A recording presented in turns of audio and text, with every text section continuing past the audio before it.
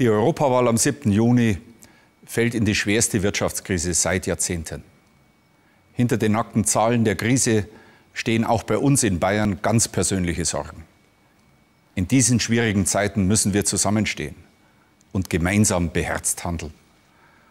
Dafür brauchen wir auch ein starkes und handlungsfähiges Europa. In Deutschland müssen wir für eine steuerliche Entlastung der Bürger sorgen.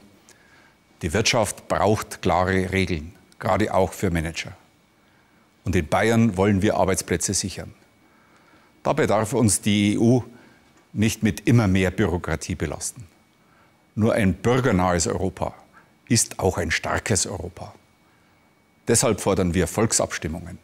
Volksabstimmungen, wenn wichtige Zuständigkeiten an Europa übertragen werden. Das gilt auch bei künftigen Erweiterungen. Einen EU-Beitritt der Türkei lehnen wir ab.